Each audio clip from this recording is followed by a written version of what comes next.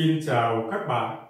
Trước hết theo thông lệ mời các bạn tải bản PDF nội dung bài học ở ngay dưới video này để tiện theo dõi.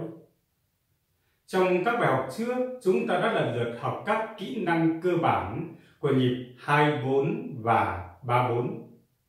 Sang tới bài 12 này, chúng ta bắt đầu tìm hiểu và thực hành nhịp 44. Bây giờ mời các bạn nhìn lên màn hình để đi vào nội dung chi tiết. Phần thứ nhất tìm hiểu nhịp 44. Nhịp 44 được định nghĩa là loại nhịp kép gồm có 4 phách với hai trọng âm ở phách thứ nhất và phách thứ ba. Mỗi phách tương ứng với một nốt đen. Khi điều khiển thì phách 1 là phách mạnh, lòng bàn tay úp từ trên đi xuống. Phách hai là phách nhẹ, lòng bàn tay hơi nghiêng đi vào hướng lên. Phách ba là phách mạnh vừa, lòng bàn tay hơi nghiêng đi ra theo hình dấu ngã. Phách thứ tư là phách nhẹ, lòng bàn tay hơi ngửa vòng vào đi lên. Bây giờ mời các bạn thực hành sơ đồ tay nhịp.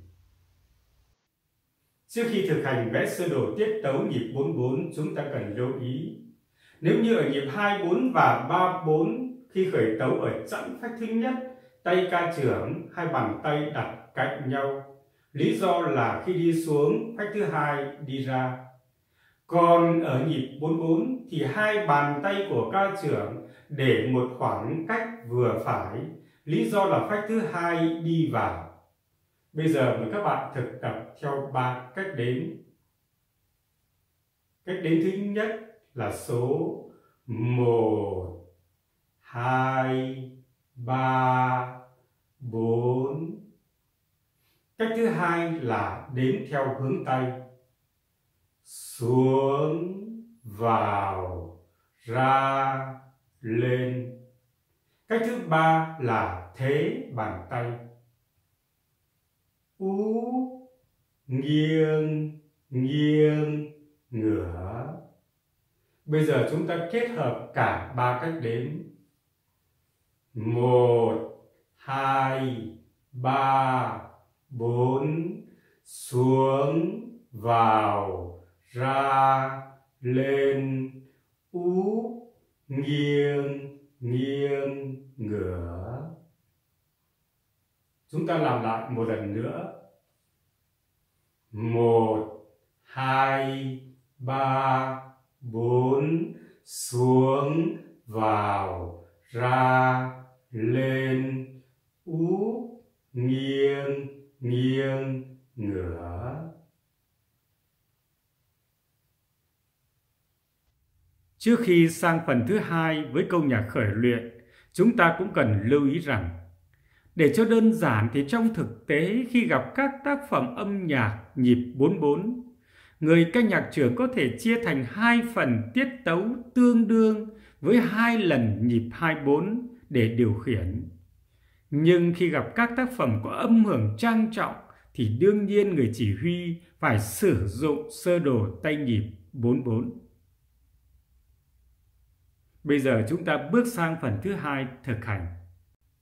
Nhìn vào câu nhạc khởi luyện, chúng ta thấy nốt đồ, báo hiệu cao độ và trường độ. Còn thực hành từ ô nhịp thứ hai. Lưu ý, ô nhịp có nốt đô và nốt son ngân đủ bốn phách. Trong lúc tay trái giữ trường độ ngân dài thì tay phải vẫn vẽ sơ đồ tiết tấu. Bây giờ mời các bạn xem thực hành câu nhạc khởi luyện.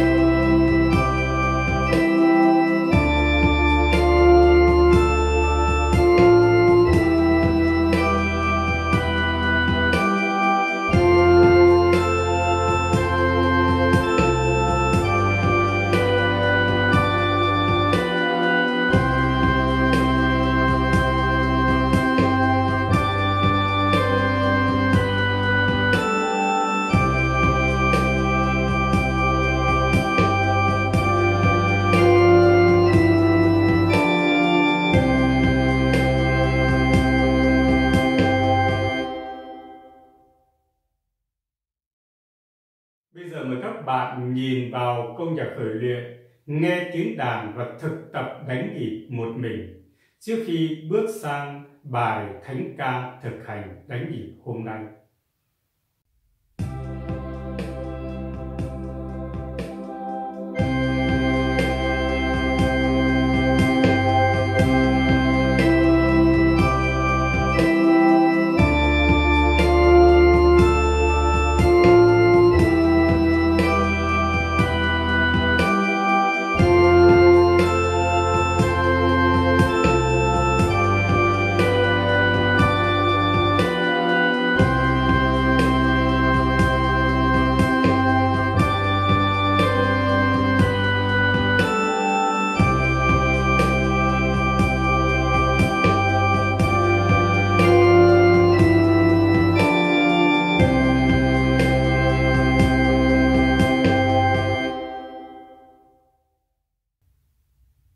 Bài ca thực hành đánh nhịp hôm nay là phần phiên khúc của bài dấu ấn tình yêu chúng ta đã quen thuộc. Phần phiên khúc này gồm có 8 ô nhịp. Chúng ta đặc biệt lưu ý tới nhịp 2 và nhịp 6. Ngân chọn 4 phách. Vì vậy trong lúc tay trái giữ ngân dài trường độ thì tay phải vẽ sơ đồ tiết tấu cơ bản thứ nhất. Còn ở nhịp 4 và nhịp 5 chúng ta sử dụng hình sơ đồ tiết tấu thứ hai. Bây giờ mời các bạn xem đánh nhịp trước một lần.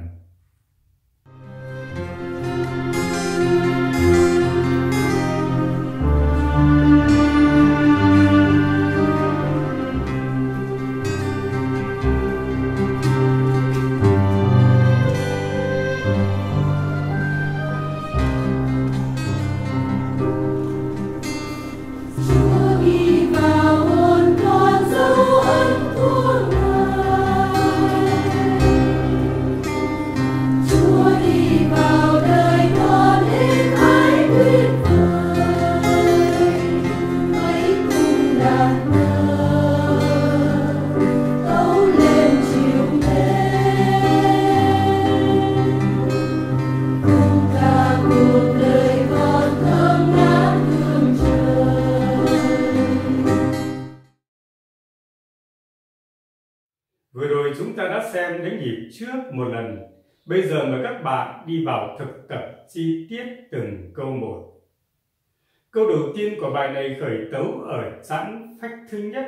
Vì vậy tay của ca trưởng lấy hơi ở phách thứ tư từ dưới đi lên.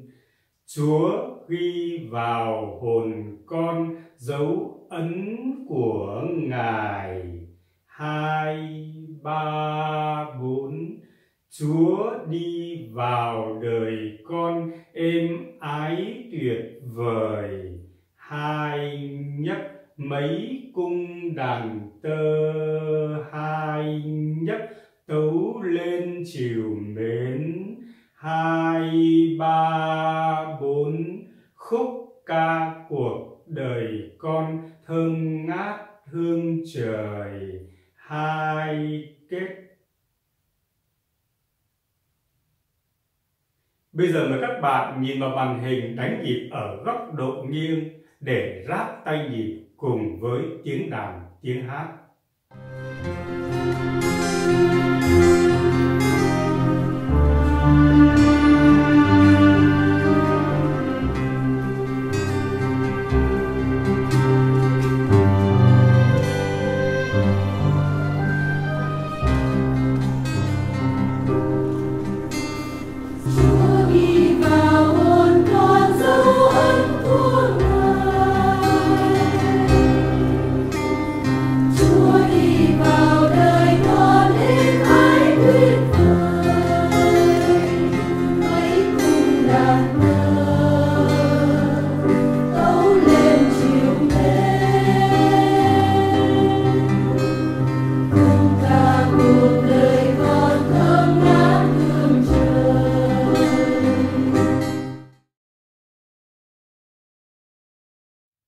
Như vậy bài học của chúng ta hôm nay đến đây đã xong. Mong các bạn dành nhiều thời gian ôn luyện để có thể sớm làm chủ tay nhịp 44. Chúc các bạn ôn luyện thành công. Hẹn gặp lại trong bài tới.